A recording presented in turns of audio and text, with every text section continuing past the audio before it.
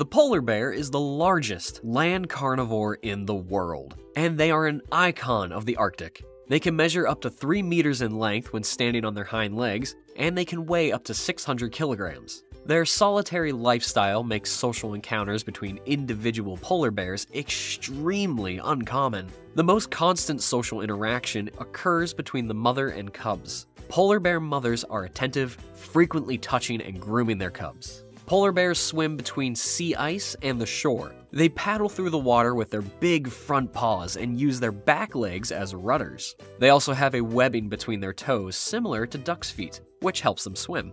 Polar bears feed mainly on seals, which they hunt from the edge of the ice and in the water using their massive paws and sharp claws. Their white fur helps them to blend in with their surroundings and makes them difficult to spot by their prey.